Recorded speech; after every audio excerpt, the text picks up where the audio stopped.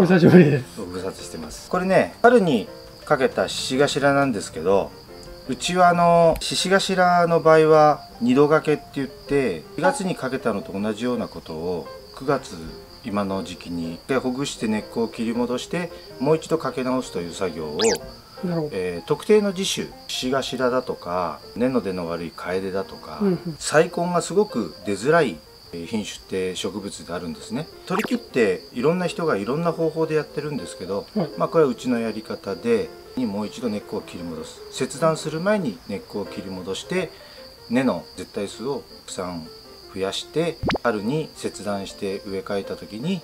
えー枯れる率を極力減らすのと、まあ、根っこがたくさん出てねいい粘りになればという確率的にその方が良くなるというのでうんうちはやってます。うん今回同じこの兄弟100本ぐらい春に やったんですけど、はい。現状の木みたいにうん。発根がもう確実に確認できる状態のものとと発根は多分してるとは思うんですけど本数が少なくてですね。なかなかちょっと肉眼で発根が確認しづらいパターン。あと極端に樹勢がこう落ちてしまった。枯れてはいないんだけど落ちてしまったパターンとこれは全部完全にオダブツ多分大失敗ですね、こういったあの100本もやるとねいろんなの出るんですけどほぼほぼ100本中完全にこういうふうに枯れてしまったのは今年の結果は3本。3本もう完全にこういうふうに枯れちゃう。でこれは原因が定かじゃないんですけど葉っぱが吹いてくるのが遅くてですね目目が吹く直前にかけ取り木をしたんですけど、うん目がなかなか吹いてこなくてなおかつ最初に吹いた目がちょっとよじれたというかふるったというか変な状態で枯れちゃうのかなと思ったら6月頃芽が吹いてきてまあまあこんな樹勢の弱い状態なんですけどまあこういう状態あんまりないので、うん。私も今ちょっとほぐしてどういう状態になってるのか、うん。ちょっと一緒に検証してみたいと思コバで可愛いですよねでも。う、うん、ただこれ本当の葉っぱじゃないからね。なるほど。遅くに葉刈りして弱々しく出たような葉っぱなんで、うんまあ、状態的には同じような状態になっちゃったのでね、まあ、ちょっと今回は検証しながらい。うちでやってるやり方をご紹介したいと思います、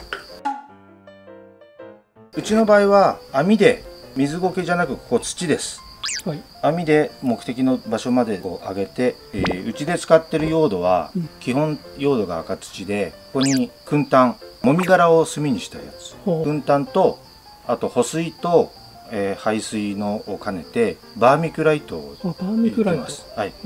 あの水苔細かくして入れたりする人もいるんですけど、はいはい。まあ短期間なんで水苔でも大丈夫なんですけど、うんうん。水苔は結構ね土の中でね腐りやすいんですよ、まあ土にあげちゃうから根腐りとかはないんですけど、うん。あのうちの場合は保水と排水を兼ねて赤土に対して燻炭がだいたい3割。はい30%ぐらい。はバーミキュライトが赤土に対して3分の1ぐらいの量まあ大体適当なんですけどあうんうん。そのぐらいの量で混ぜた用土。こういう用土なんですけどね、まあこれを使って表っ面だけ、えー乾き防止と土が飛ばないように水苔をちょっとカバーで置いてます。でどうしてもはい。傷が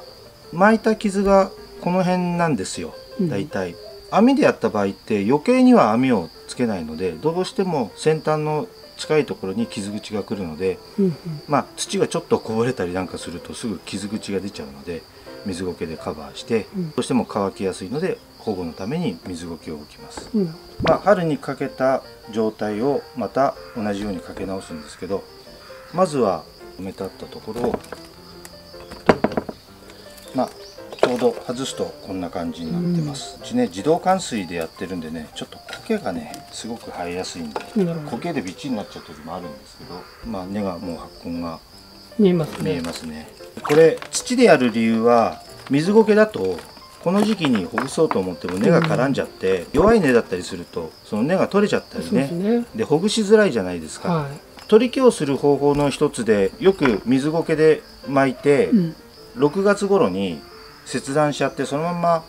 外しちゃう人がいるんですけどそれはそれでいいんですけどそれの場合水苔とかよく使うのは夏場の保水が大変だったりと6月にスパンと切ってその時に根をほぐさずに普通はそのままそーっと鉢に植えて、うん。来春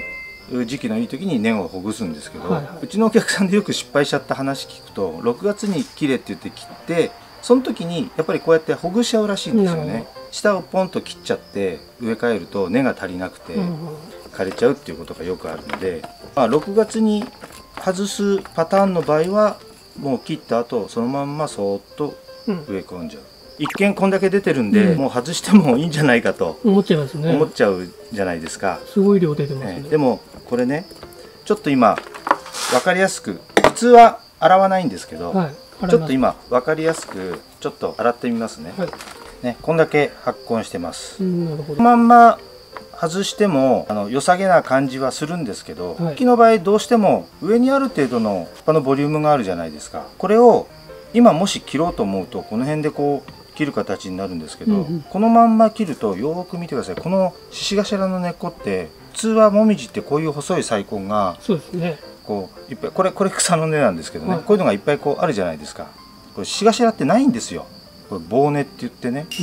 ん枝みたい。細根のないこういう細い根ばっかり。でこれを切った時に細根がないんでね。前にもよく言ったんですけど根の先端から吸うっていうじゃないですか、はいはい。細かい根がいっぱいあれば先端がいっぱいあるからこう保てるんですけど、うん。これをまた切っちゃうとこの時期に葉っぱがこんだけ茂ってる時に普通この根を切ると水が足りなくなっちゃうんですよ、でも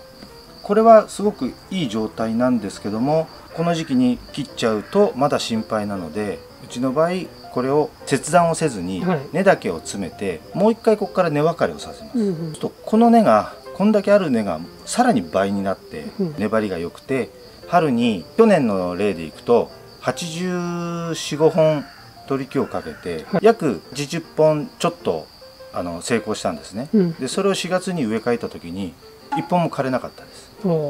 外す時にね枯れるリスクってどうしても出るんですけどねこの仕事をするとほぼほぼ4月の時点での移植にすごく強くなる、うんまずこういう風に出るとちょっと段差の違うところから出てる根っこがありますね、はいこれ通常もそうなんですけど上から出てるん外しますで根のこういう段差になったのもこうちょっと高さを。まあこれの時点でこれをやっとかないとどんどん上に伸びる根が太ってしまうので。でこの時に前のいろんな動画でもやったんですけど将来いろんな鉢に入れるように根をなるべく小さくしたいんですね。最初の段階では。ででもさっき言った通り葉っぱがいっぱいあるのでジガシラの場合根をあまり小さくすると枯れるリスクがすごく高くなっちゃいます、でもこの時期にまだ下から水を吸ってってくれるので、はい。この時点でここの根が短くなっても水が足りなくなるっていうことがうんこの時点ではないです。で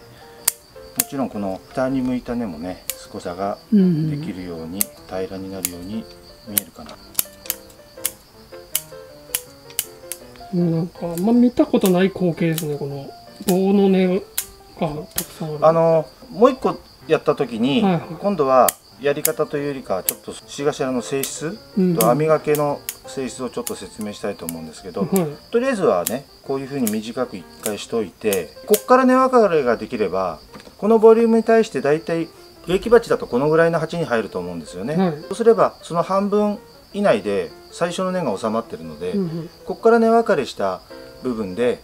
多分どんな鉢でも入ると思うんですよね。大きさ的にはね。これが通常の6月に外したり4月までこのまんま伸ばしておいてうんうん。おくと黒いポットとかビニールなんかで巻いてやった場合には走根根っこが走っちゃうんですよ。そうですね。でそれを短く切った時には結果的に根っこの量は多くても長くなってるので切った時に根っこの量が減っちゃうんですね、まあそれをうちはあまりそういう風にしたくなくて根っこの量を増やしたくてこの時期にこういう風に。はい。でこの状態でさっきの網でもう一度かけ直すんですけど、まあ、ちょっと比べるためにちょっとあ後で。はい。多分これなんかも発根は確認できてるんですけど先ほど根が飛び出てないんですね、うんうん。でこれがどういう風になってるのかちょっと見てみたいと思います、うん。あごめんなさい、まあ、根があるので発根はしてると思うんですけど、まあ、横には出てこないけど下にねあのいっぱい出てるんだけど下にこういう風に降りちゃってる場合もあるので、はいはいはい。まあどういう状態なのかなっていうのをここで確認します。下向きに出てますね。根はそこそこ出てましたね。この状態もかっこいいですね。値上がり風にね。値上がりみたいな。でもあんまり さっきのは網から突き出たところが枯れるのでそこからまた新しいが根根が出てこういう風に走った根が少なかったんですけどこれはたまたま下向きに伸びた根がうんたくさん出ちゃっててで横に出た根は網で止まるのでこっちばっかりが成長しちゃったんですね、まあ、こういうパターンもよくありがちで。さっきちょっと説明しなかったんですけどざるで栽培したり網で栽培したりした時に根が自然と突き出て先端が枯れて新しい根が元から出てはい。新陳代謝するからすごく培養にはいいんですけどから本鉢に入れる時に気をつけなきゃいけないのが割とここを見てもらっても分かるんですけどここで網で飛び出て枯れますよね、うん。で新しい根がこうとか出ますよね、はい。でもよく見てもらうと分かるんですけどこっちからは出ないんですよ。こういうところからは。みんなこの先端からしか出ないんですよ。ですからざるにしてもあこういう網にしてもちょっと大きめにするじゃないですか。うんその先っぽの方でしか根分かれがしないので結局そこで本鉢とか仕立て鉢に移し替える時に根を切るとなるとこの根分かれなくなっちゃうんですよ。うんでこれを残そうと思ってこっちでやるとこれの場合はこのぐらいで割とコンパクトなんですけどうん。ざる、とかでやると少しでかいじゃないですか、はいはい。ですから切った時に根分かれって意外となくなっちゃうんですよ。そういう時はざる用の手入れがあってちゃんとざるで培養してるからといって植え替えをしたり切り戻しをしないと後でちょっと大変になっちゃったりするのでうんうん。まあざるだからって安心して定期的な植え替えをしないとちょっと後でリサーチに入れづらくなったりはしますね、こういう風になっちゃったやつっていうのはこのまんま春までかけとくとこれがどんどん成長して太くなっちゃうので、はい。こういうやつほどさ先ほどのすごくお利口さんにできたやつよりもうん。この作業が重要になってきます。はい。特にこの下向いた根は一旦切除してそうなると上の方の網で止ま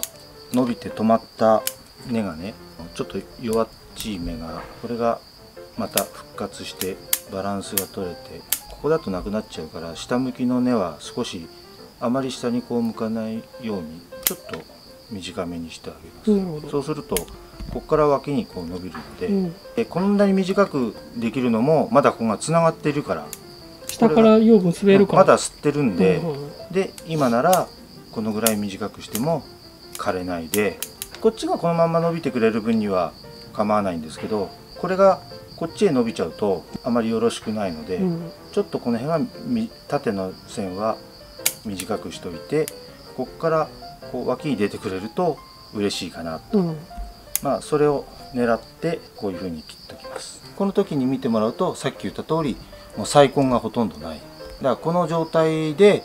ブツンと切って春にいくら芽がまだないとはいえ上のボリュームがあるので枝枯れしたりうん。しやすくなるのでこの状態でもう一度かけ直す。はい。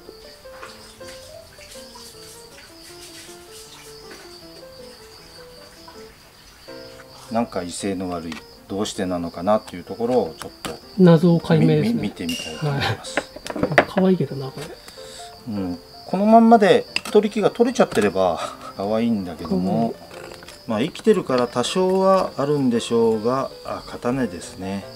まあよくあるパターンの失敗ではない失敗。うん。木としては取れるんだけども商品としては片根でいずれ根を継いだり何か細工を要するようなパターンですね。はいちょっとこれも洗ってみます、はい。で今ちょっと洗った時に皮がむけたんですけどこの辺が枯れてましたね。これ焼け込んでるね、だからね出ないとかもあるんですかね。まあだからっていうわけでもないんですけど普通さっきまでのはまだここも生きててうんうん。まだ吸っててくれたんですよね、はいはい。芯では。で上から出た根っこと両方で従来の葉っぱを維持してたんですけどこれ上から切った時にもう下が枯れちゃったんですね。発根するまでは葉っぱの芽が出るのが遅れたっていうのは多分発根がまだされてないで挿し木状態だったんでは芽が動くのが遅れててここでちょっと発根したんでその分だけで多分芽が出てで枯れずに発根したのはまだかろうじて下からちょっと吸ってたので枯れはしなかったんですけどこれで発根が運よくしたのがこの状態でかろうじて生きてる。これが発根しなかった場合がもう完全にこういう風になって取り切って上がダメになっちゃうパターンもあるんですけどこういう風に下が腐っちゃってダメになっちゃうパターンもあるのでね。はい、でこれの場合は切っちゃってもいいように感じるんですけど、はい。まあ時期として今の時期やっぱりそういう切るっていうのもねあまり根をがっつり切るような植え替えっていうのは、うん。9月っていうのはある程度鉢替え程度の植え替えなので今回も他の木と同じように短くしてみますことは二度掛けする？二度掛け同じようにして仮に上の容量も少ないので、うん。この根が新たに他の足んないっていうんでこの伸びてくれてここが伸びれば結果的に今の状態と一緒でうんうん。でもしかしたらこっち側の生きてるところに根が足りないのでここの根を刺激することによって新たな発根が促される可能性が出てくるので、このまんまさっきのまんまにしとくとこの根がただ発達していくだけでうんうんこのボリュームとさっきの根が釣り合いが取れちゃってたので新たな根が出る可能性が低いんですね。はいでここを切って刺激してあげると根の量が足りなくなるのでこっちから出る可能性が出てくる。なるほどでここは枯れたとはいえまだ多少のちゃうよりは水の水分の供給がうん下から吸うところがあるのでダメ元で戻してはい一度かけ直します。うん生産者的に言うと、はい。これはもうほぼほぼ枯れたのと同等と失敗と同等。あまりあの期待できる商品になる可能性が低いので、うん。まあうまくこっちから出てくれればね復活する可能性はもちろんあるんですけどあまり仕事しててこういう風になっちゃったパターンは生産者的には失敗と同じですね。これは例えば根のないところを削って発根剤塗ってみたいな、皆さん勘違いしてるのが、はいは発根剤をよく挿し木でも取り木でも塗るじゃないですか。発根剤っていうのは基本的に発根する本数を1本しか出ないところ2本とか2本しか出ないところ5本とかっていう発根量を促す。よく読んでもらうと分かるんだけどいなるほど。たくさん根を出させるための薬なんですよね。出ないものを出させる薬じゃないんですよ。なるほど。いろんな種類の発根剤あるんですけど全てそうです。つけてもちろん効果あるんですよ。たくさん出るんだからいいことなんだけど、出ないところを無理やり出させる薬ではないので、こうやって出てくれたところからたくさん出させる効果はあるんですけどもちろんいいことなんですけどこういうところが出なかったところが出るための薬ではないので、うん。発根剤塗ったからって失敗は失敗しちゃいます。はい、でも削り直しは意味ありますかね？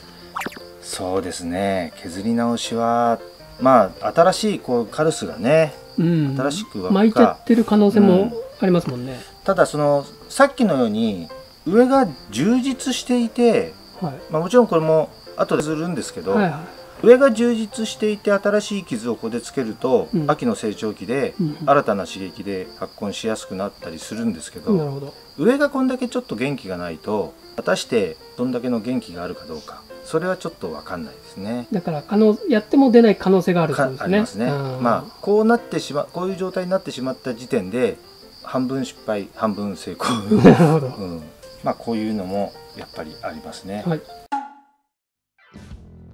またかけ直してみたいと思います。取ははい。4月？芽が吹く直前にうちはややりました。えー3月の下旬。3月の下旬。下旬から、たまに芽がチクッと動き出して4月に入ってからやる時もあるんですけど、まあ大体3月下旬から4月上旬にかけて、かけて、うん、3月中にやることが多いですかね。なるほど。で9月の上旬ぐらいに、1月のお盆過ぎれば大丈夫なんですけど9月の成長期で根がまた出るのでその時に向かってこの仕事をしておくと、あまりちょっと遅いとここからの根の発達する時期が短くなっちゃうので、うんうんうん。まあ、できるだけ9月上旬までにはやった方がいいかもしれないね。でこれの場合はさっき言った通りこの毛細根が少ない種類なのではい、すごくこれ有効ですっていう話をしたんですけどうん。カエデとかモミジは割と細い根も出るし、はい。発根もいいので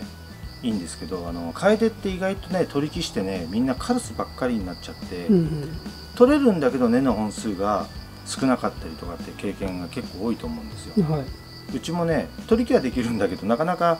こんな発泡根にこう根っこが出なかったりね、うんうんそのカエデもこのやり方でやると多少根が増えます。うん、なるほど。うん、うちは楓とモミジだ楓と獅子頭だけこの二度目がけをします。まあ通常のものはじゃあ外しちゃう。通常のやつはね外さないでうちは1年かけといて春先にやるんですけど普通の山もみじだとかで症状だとか取引するんですけど、はい。あのベンチ鶏とかね、うん。それは普通に結構ちゃんと発根するしこれこれをやればより良くなるんだけどうんうん。やらなくても割と切り離して移植した時の枯れる率ってすごく少ないのでえ。枯れる率が高いものだけうちはやってます。ーうん。まああのやれればね全ての木でこれやると根は本当に良くなりますよ、うん。とりあえず同じようにもともと使っていたこんなに長いか間かけないので普通にホチキスぐらいで全然持っちゃいますんで。でここに先ほど言った軍炭この黒いのが軍炭、でバーミキュライトと基本用土は赤土。はい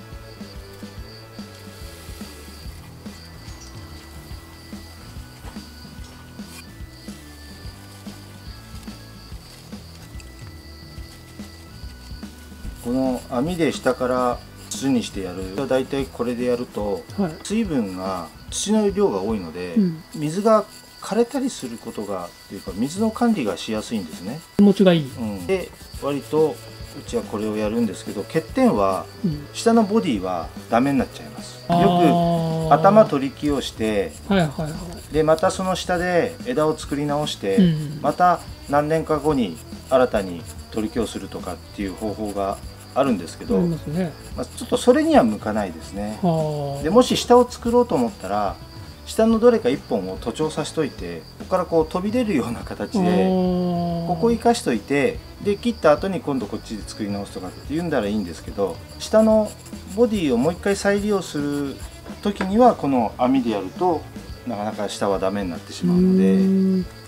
これ網と鉢は固定してないんですね。してないです。ね。ただ置いて。もうねずれないです。あの芯中に植木が芯の軸になっちゃってるので、はいはい。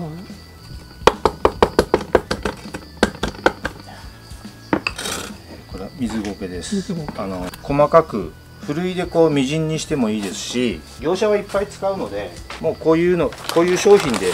ああ売ってるんですね。こう売ってるんですよ。まあさつき屋さんとかよく使うんですけどこれすごく便利ではい。通常裏ごしみたいにふるいで細かくねうんうん。やったりして使えば十分なんですけどちょっと最初適当にこう引き詰めてこれは本当に保護だけなんでまんべんなく表面が覆われていれば大丈夫。でこれを外すのは春？これが、えー3月の通常の臓器の植え替えに適したお彼岸あ3月のお彼岸頃に向けて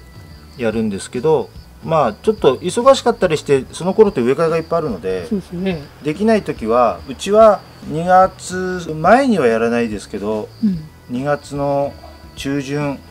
ぐらいに外してビニールハウス入れちゃったりすることはありますね。えーまあ一般的にまは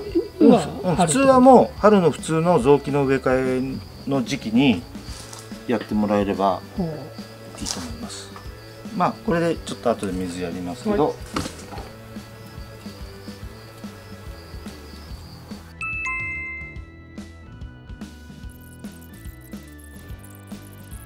出なかったやつも出てくれることを期待して数やる中なので期待してとは言ってますがあまり期待はしてないです。してない。でも意外とね、まあ、こういうんでちょっとうちの戦力としてはもう戦力外通告に近いパターンなんですけどうん。でも枯れないとやっぱり世話するじゃないですか。はでこういうのっていうのは根も硬根だし規制も悪いから売れ残ってくんですよ。手入れぐらいはしてるからね。いはい。いつの間にかね戦力外のまんま年数経ってすごい良くなっちゃったりすることもね、出世していくんだ。ええ。あの、え普通だとうちになかなかこのパターンの木が10年20年置いてないんですよ、ーはいはい。ちゃうんでね。それがこういう一癖あるやつは売れずに残っててうん知らない間に隅っこの方であの目つまんでるだけで5年10年してあれこんないい木になってるとか。うん。で根っこも後から出てきてね良くなっちゃってたり。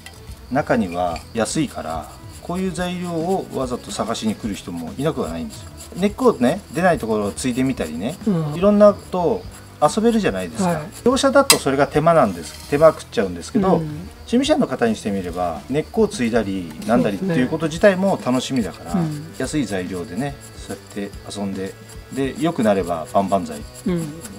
10軒いると取り木の仕方も10通りあってさっき言ったように水苔で取ったりする人たちなんかははい。根をほぐせないのでこういう秋の二度掛けっていうのはほぼほぼやらないですし、うちのオリジナルじゃないんですけど誰に教わってやったわけでもないんですよね、なるほどまあ、うちの親父なんかっていうかうちは代々こうやってるんですけど、うん。昔そんなに獅頭をね取り切ってそんなに業者もしてなかった頃にうちずっと獅子頭って結構昔から作ってるんですよ。そのまんま生木のまんま作ってても売ったりもしてたんですけどどうしても獅子頭って継いだ苗木が腰高なんで、はい。なかなかかっこいい木にならないので、うん。小さく作った木を取り木したらすごく人気が出てたくさん売れるんでうちの定番商品になったんですけど最近はもうここに行く段階の前で売れちゃってなかなかねねうん、国内でも人気だし海外でも人気だし、ありがたいことに取れて枯れるかどうかも分かんないうちからうん売ってくれ売ってくれってなるので生産者としても作りがいがありますよね、売れて取り木して売れるかななんて言って作ってるよりうん。売ってくれっていう人が待ってると失敗もできないなと思って、うん。ごめんなさい全部失敗しちゃいましたってわけにはいかないので最初にもう一回削り直しの話をしたんですけどうん。ちょっとやっぱり樹勢が悪いので削らずにやってみました。はい。また新たな傷をつけて逆に樹勢が落ちちゃう可能性もあるので、うんうん。あカルスから発根するので新たなカルスの方が発根しやすいんですけどちょっと樹勢が悪いのであんま様子見て、はい。最悪根が出ずにもし取り木だけ外せたら後で根継ぎなりなんだり、うんうん。また外した時にねまた発根する機会にはなるんですよ、はいあの今度切断した場合ね、うんうんうん。管理のコツとかもあるんですか特にねあのまあ普通よりも網で上にせり上げてる分はい。乾きやすくはなるんですけどただちょっと細かい土でバーミキュライトとかを混ぜて保水してるので通常の他の木と一緒の水やりの管理でで水やる時にちょっとこのね土にかけてあげる程度でで特に場所的にも普通の日向だし、うん。二度掛けした後のこっからの秋って日差しは秋の日差し強いんですけど、うん。極端に乾かなくなってくるじゃないですか、はい。やっぱり8月の時の78月のすごい乾く時よりは多少乾かなくなってくるので、うんこっからの管理はそんなに気を使わないですね意外とねこんだけの土の量があると乾かないですよ、うん。まあどっちかというと1回目の方ですねじゃあ注意するのは。そうですね。うん。あの4月の時にかけて、はい。根が出るまでの間に極端に乾かすとか、うん。であと6月過ぎて発根はしてるんだけど今度は逆にあの水が少なすぎるとうん。下に行っちゃうのでこの網みたいにする時の管理と、うん。真ん中でこう取る場合とだと、はいはい保水力の違いがあるんで、うん。管理がまたちょっと違うと思うんですよね。そんなに極端に取り木のだからといって特別な管理ってあまり皆さんしてないですうんうん。よね、まあこんな感じです。はい。あと春これを外すですけど売れ残ってたら外す外す作業もうちでやるので、まあ、もし動画が撮れればその時でも、ぜひ。うん、この二度掛けした次の、えーここから成長した根のがどういう風になってるかっていううん。動画が撮れればね、差がね見れると。まあ、参考になるかどうか、いやー大変参考になりました。まあ、ただやっぱり、まあ、何回も言うけど人それぞれのやり方があってその家家で、えーそれなりの理屈でやってるので、まあ、どのやり方が正解っていうのはないんですけどね、うんうん。まあ、うちは重視してるのはこの春の移植した時に枯れないっていうのが枯れないための根作りっていうのが一番のこの目的なんで、うんうん。じゃあすいません。ありがとうございました。はい、やってみてください。